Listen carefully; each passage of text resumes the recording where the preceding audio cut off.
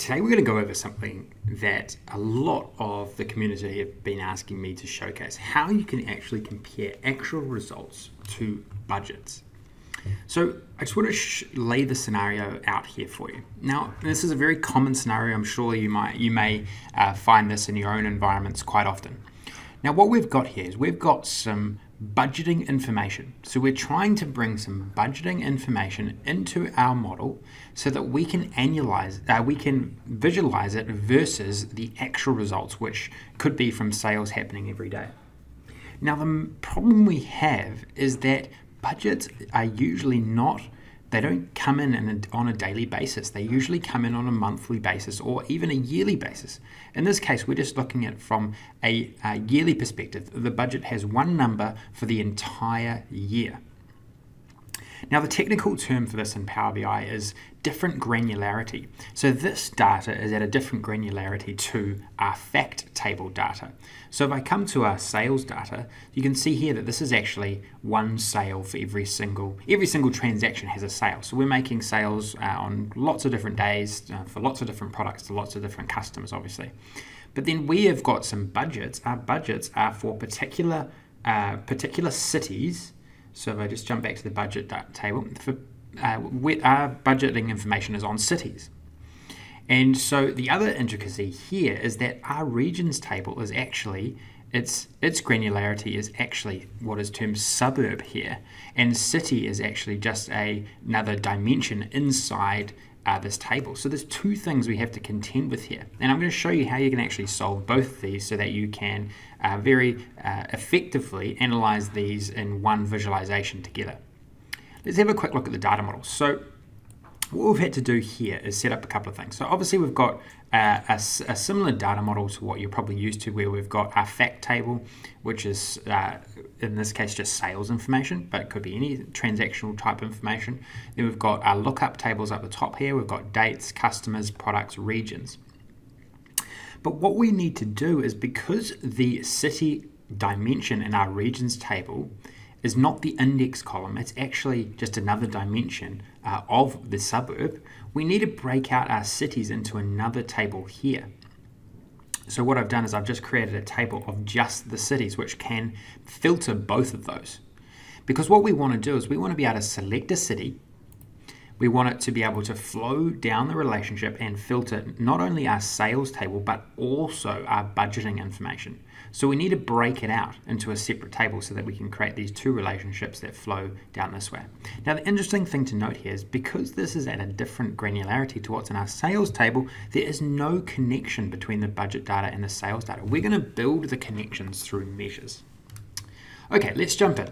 Now, the other key thing uh, that I have to reiterate uh, when trying to work out how to develop these in Power BI is to always, always try and put results into a table uh, so that you can try and understand what the calculation is actually doing. If you put, say, if you try and work out how to do this budgeting type scenario uh, analytical work inside of visuals, it's, I would say, virtually impossible to understand what is going on.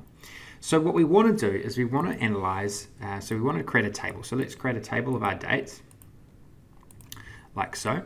And so in this case, just recognize that we've got a filter on 2016 because that's all we're analyzing because the budgeting information is 2016. So what I'm going to do is I've created my a simple measure, so total sales. So this is the sales per day. But what we want to do is we want to say, we basically have to divide up the budgeting information, which is at a yearly level, we need to divide it up so that we have a, a, portion that can be attributed to every single day. And so if I if I go like so, if I go, uh, let's, I'm just going to type in total budget, and I'm just going to go sum of the uh, sales budgets column. So if I bring that into my table here, you'll see that we get the total across uh, for every single day. We get 62 odd million for every single day. And so all it is doing is it's coming to the budgeting table, uh, budgeting data, and it's just summing up this column for every single day. So what we need to do is we need to we need to create some logic which allows us to divide this up. And this is the logic that you need to um, you need to create uh, to do that. Now, the first thing we want to do is we obviously need to, if you just think logically about what we want to do, we obviously want to divide or times this by 1 divided by 365 or 366, depending on how many days in a particular year. And then that's going to give us a, a ratio to times this total budget by. So first of all, what we what we've got to do is we've got to work out. Okay, well, let's figure out how many days in this particular year. And the way we can work that out is through this formula here. So we want to just go days in year, and we're going to go calculate count rows. So what we want to do is we just want to count how many rows how many rows in this particular year. So we're counting up the date table, but now we just need to isolate each individual year. And the way we can do that is we go all except dates, and then put in the year column here. And so if I go into there and I drag this into our table, you'll see now that for every single day in this particular year, we have the days in the year. So now we need to somehow work out, well, how can we get one in here?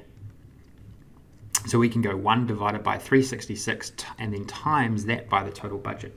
Now this isn't too difficult, but you just got to remember a couple of things and you got to because you got to think, well, how can we actually make this dynamic? Because what could happen is that instead of looking at it from a daily perspective, you actually might want to look at it from a monthly perspective. And so we've just got to be a bit careful, but uh, I'm going to write days in in uh, date context. So I'm just going to call it something slightly different, so and you know what I mean in a second. So then I'm going to go count rows dates. And then if I push enter and I drag that into the canvas, you'll see now this is actually 1, 1, 1, 1 for every single date, which is great. But what this also enables us to do is that if we turned this date into a month, for example, so let's actually, this this is actually going to change. This is actually going to be 30 or 31 based on whatever, uh, how many days in a particular month. So if I swap out the date and I drag in the month and year here, actually that's not what I want, I want month and year. You'll see that this days and date context is now changed. So it's going to be 31 divided by 366 times the total budget. So now we've got the logic correct there. What we want to do, what we want to do is we now want to then uh, write the master formula that, that, will divide up this total budget. So we want to go, uh, we want to go and call this budget, we'll call this budget allocation. And we're going to go days in date context divided by days in year and then we're going to times that by total budget. Now if I drag this into the table now, you'll see now we have this allocation. We have a daily allocation, which is exactly what we wanted. But check out what happens if we put this into the monthly context. So I'm going to put budget allocation here, and you'll see that it automatically adjusts for the month now, which is really cool. So now what we've got, we've got our total sales versus our budget allocation, right? So now we can actually turn this into, uh, we can now get rid of those intermediary calcs, and we can now turn this into a uh, into a visualization. So I'm just going to turn this into, uh, into a column chart with a line and you'll see that that line represents the budget and we've got our actual sitting underneath that. And we can do exactly the same thing here dynamically uh, without having to change any formula uh, at the monthly level. So I'll just change this as well.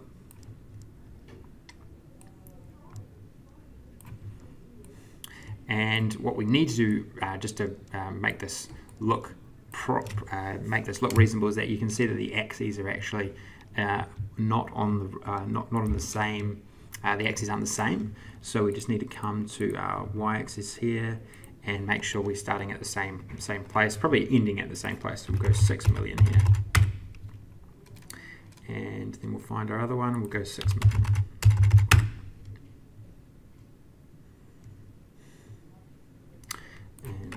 Start that at zero, just like that one. Okay, cool. So now we've got our monthly budgets and we've also got our budgets from a daily perspective. So that's just a technique. Obviously, you can probably take you can take this further and watch out for videos where we do take this further. Is that you might actually want to look at this cumulatively. You might want to compare cumulatively. You might want to see what's the difference between actuals uh, and budgets, etc. Uh, so I'll um, certainly uh, get some videos online that um, that showcase that in, in time. But this is the general technique to uh, that you could actually use in a lot of different scenarios. It's it's it's what you need to do to change information at one granularity to and compare it to information at another granularity. And all we've done is we've created some intermediary logic which enabled us to um, to break break up that uh, that uh, summary information into uh, smaller portions to uh, compare it to more granular information like our trans from our transaction table.